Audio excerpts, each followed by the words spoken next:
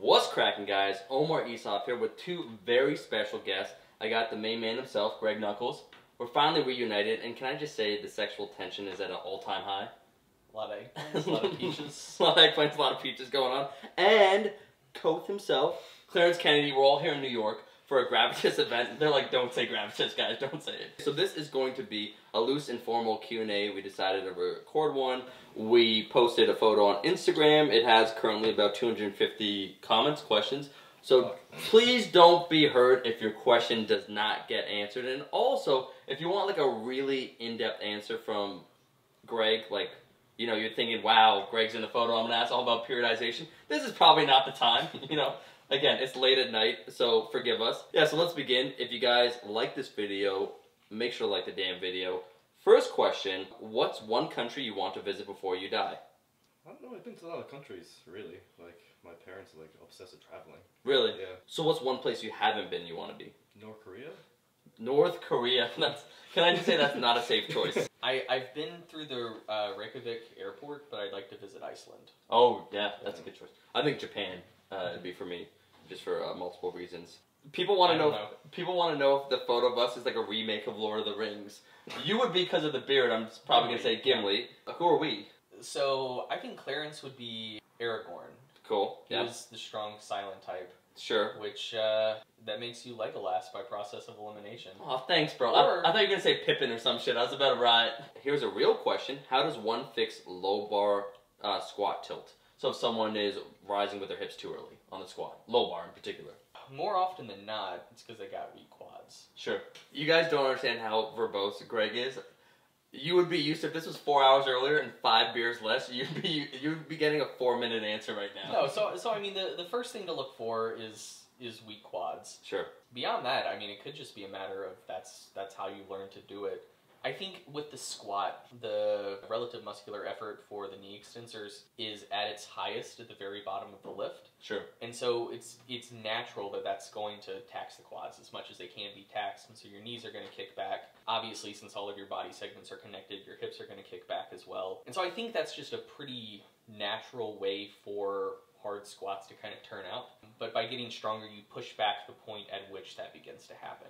And let me ask then a weightlifting question. Do you program at all the SOTS press over your head? Um, Is it a mobility drill? Like how do you use it? Yeah, it's definitely like really good for mobility. Okay. Um, as like a strength exercise, uh, I don't see the benefit of it at all. really. Yeah, it's, it's really hard to do actually. Like a lot of people can't do it with just like a stick or a bar. Yeah. yeah. So like you have to have like really good mobility for it. So Sure. yeah, it's a great mobility exercise, but as a strength exercise, I don't really see the benefit. Okay, asking the tough questions here now. Top three animes.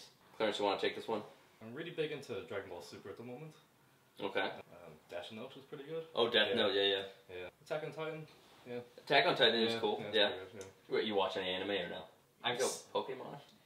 that's not, is, Like that, way back. is that even anime? I don't know. Yeah, I don't know if you can count Uh, that. I'd say Dragon Ball, Dragon Ball Z, Yeah. and Gundam Wing. Oh wow. Yeah, Gundam Wing. The opening has yeah the classics. I would say uh, of the recent ones, One Punch Man. For Okay. me, if you've uh, watched that, Greg, if you have any time in between your research, you know, trying to contribute to humanity, and you want to just chill for 22 minutes, watch an episode of One Punch Man. It's actually hilarious. Here's a question. Yeah. Would you, uh, Clarence, would you recommend the high bar squat for powerlifting ATG? Do you, co- so you're, you do some coaching. Do you coach at all um, Powerlifting? powerlifters? Yeah. Um, no, I don't really coach powerlifters. Actually, all weightlifters. All weightlifters So, is the majority of what you do. Probably won't be the best person to ask that. but so Yeah. and for every single uh, weightlifter, just to be clear, you obviously program the high bar squat, never Yeah, the low bar course, squat. Yeah. yeah, like in front squats, obviously. Yeah. Like I think it's better to um, do more back squats, like compared to front squats, because like front squats is like such a taxing exercise Sure. on the body. So like most people are suited to doing more back squats. than front squats. Yeah, front squats. Greg, for you, dude, because actually you have a lot of fantastic articles. Got to give the bless up to you uh, when it comes to the squat. When trying to determine for a lifter to choose between a high bar, low bar uh, squat, what are the key indicators of where they should go? I remember before you talked about thoracic extension or the extensors. Um, but anything you want to say in that? Because there are some people, there are some people that are super strong. John Haack would probably call as a high bar squat. And he pretty much is the strongest 83 kg lifter. Try them both and see what feels best. Oh snap! yeah. Why, why do you think? Why do you think that is? So you see all these weightlifters, Greg, mm-hmm. that are like strong as hell, and they're in that high bar position, like they're kind of just like upright, vertical, torso, all that stuff. Mm-hmm. And then also, you know, there's powerlifters that do low bar, and they're also really strong. So mm-hmm. it's kind of just about finding what works right with your morphology.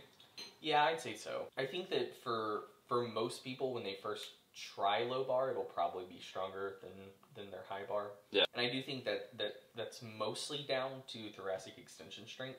Yeah. And it's basically load times angle of your femur relative to the floor. Okay. And that's going to be true of literally any squat style. I think if you're a power lifter and you want a low bar squat, it's just what feels good to you and you can probably move more weight that way initially. Then why not? I don't think there's a problem with that. Yeah. But you know, if you don't like low bar squats so much, like maybe they make your elbows feel weird, uh, I think if you stick with high bar squat and work on strengthening your T spine, that's also a very viable option. Yeah.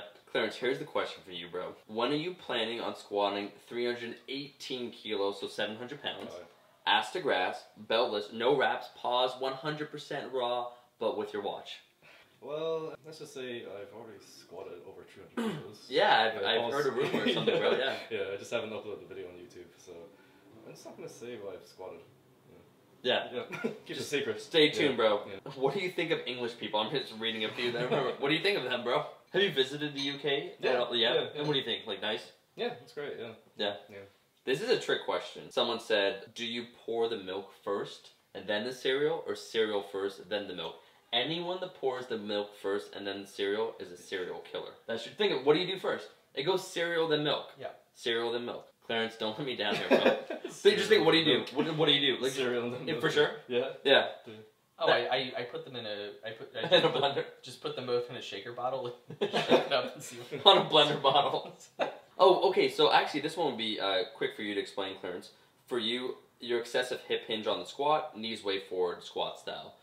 This guy, I think, clearly doesn't know about uh, your knee issues. Oh yeah. You know where you, like your hips Yeah, yeah, rise yeah, out, yeah, and you change your squatting style. Yeah. Yeah, I, I just changed my squatting style. Um, I didn't really do it intentionally. I just kind of did it automatically, just to take the strain off my knee. So Yeah. my squats just kind of look a bit weird. Yeah, and you've Yeah. dealt with uh, some serious Well, knee not issues. serious knee issues, but like tendonitis. Yeah. It's really annoying. Yeah. yeah, I've got like surgery on both my knees, and unfortunately the pain is coming back. So Man. Greg, this is a good question for you. Someone wants to know about elbow flare on the bench press. Okay. Because you are, uh, a lot of your articles, and we'll link your website, Stronger by Science, in the uh, description, but a lot of your articles take common, maybe either misconceptions or the way people think and turn it around and provide new insight.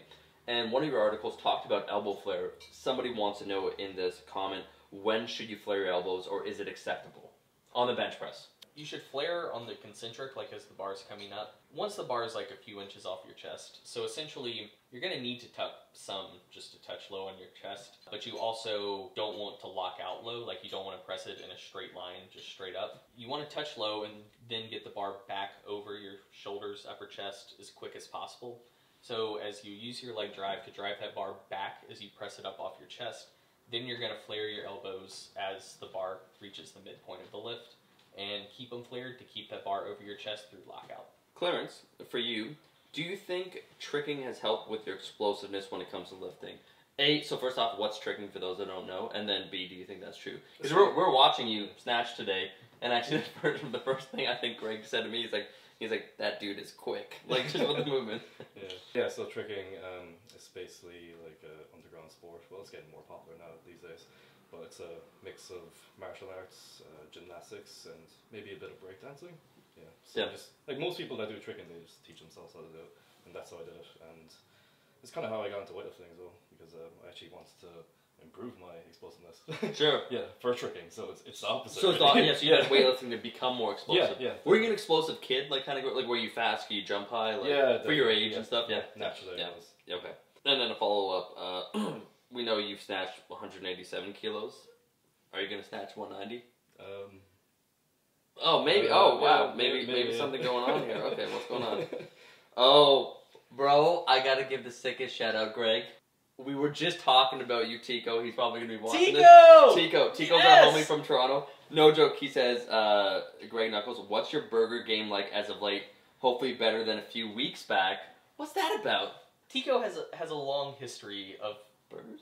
No, of taking part in food challenges. Yes. And getting this clock cleaned. right. So I recently got a meat grinder. Okay. My burger game is on point. Uh, the reason I got the burger at lunch today is it was a Pat LaFrieda burger, Okay. which is like cr- cream of the crop patty. And so I basically wanted to be able to compare my burgers to a Pat LaFrieda burger. Tico's just talking shit. Tico is under the false conception that he has a burger game adequate to measure up to mine. It, as it generally goes with Tico and food challenges, he is Sorely mistaken. Sorely mistaken. Okay. yes. Okay.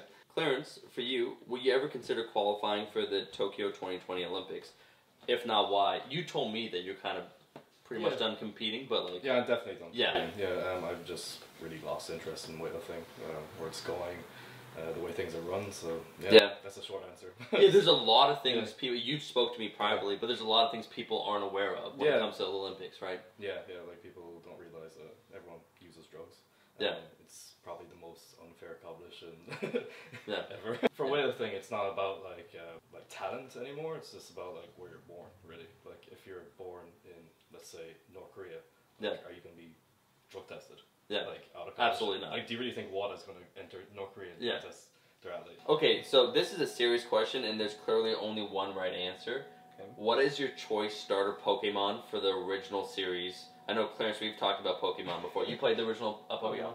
There's one right answer. I know what you guys are gonna say, and you're wrong. Greg, go ahead. Give me your 10 second spiel. Who would you say? It's It's Bulbasaur. no, It's God not damn it. It's Charmander. obviously Squirtle. I was Squirtle. gonna say Charmander. Oh my! It's we each have a definitely different. Squirtle. Bulbasaur has dick veins, bro. Dick vines, sorry. He has a parasitic organism on top of his back, consuming his soul. He's sacrificing his like consciousness for Ash Ketchum.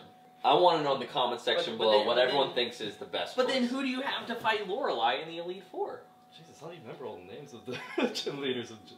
Well, guys, that was the Q and A. Hopefully, you enjoyed this midnight 1 a.m. in Brooklyn Three Bros United Q and A. If you enjoyed it, make sure to like the damn video. Also, make sure you check out first Greg Nuckols, Stronger by Science. Link will be in the description, as well as the Instagram if you want to creep him out, check him out.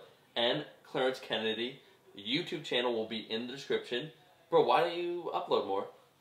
Um, I don't know. I just like uploading every three months. I almost feel like you have like- like PRs you haven't released or something.